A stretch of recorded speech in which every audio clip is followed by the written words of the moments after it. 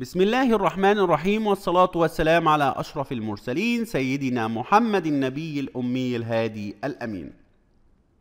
في هذا الدرس سوف نتعلم كيفية إيجاد المتوسط لكافة الأعمدة لعمود الأجر اليومي وعمود عدد أيام العمل بالشهر وعمود الأجر الشهري والمكافأة والصافي النهائي.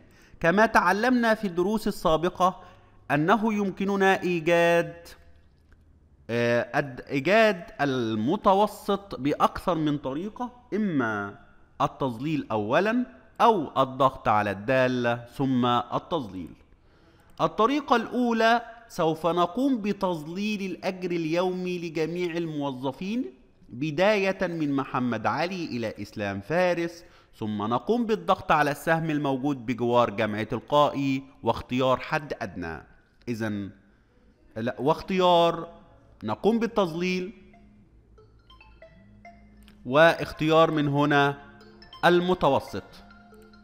يبقى بحدد من محمد علي إلى إسلام فارس. وبضغط على السهم واختيار المتوسط جاب لي هنا المتوسط 114 وكما تعلمنا أن المتوسط هو المتوسط هو مجموع الأرقام على عددها مجموع الأرقام على عدد هذه الأرقام. يبقى المتوسط هو المجموع على العدد. الطريقة الثانية لإيجاد المتوسط بضغط في المكان المطلوب إيجاد المتوسط فيه للأجر اليومي ثم اختيار الدالة أولا ونقوم بالتظليل على الأجر اليومي من محمد علي إلى إسلام فارس بهذه الطريقة. الدالة المستخدمة في المتوسط هي دالة average.